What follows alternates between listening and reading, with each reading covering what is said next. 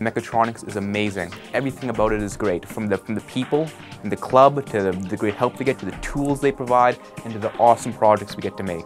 Mechatronics is the unity of electrical and mechanical engineering, just working together.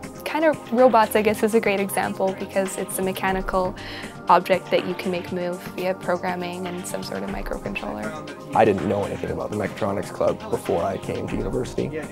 I wasn't overly involved in electronics in high school, and I saw what a useful resource this was for people who ended up in very complex projects in first and second year.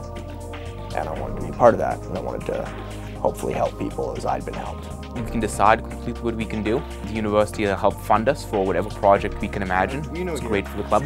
Currently our main products, we have a robot arm here, we have some drones, quadcopters, we have a 3D printer, 3D LED cube, and you know various other products we're working on and there's always more coming along that are always very interesting and always great to work on. We just exist to facilitate student involvement, to help them build something real when they've left school so they have something to show for it and it's kind of fun. You just get to leave the school world behind. You don't have to do an exam, you don't have to do a test.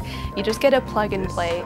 You test out if it works, if it breaks, if you blow up the capacitor, it doesn't matter. You put a new one in there and you try again, which I think is really important. Most robotics, which fits into mechatronics, is incredibly interesting.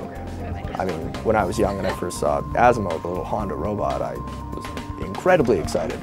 It's very interesting to see something that is otherwise inanimate have a real and physical impact on the world.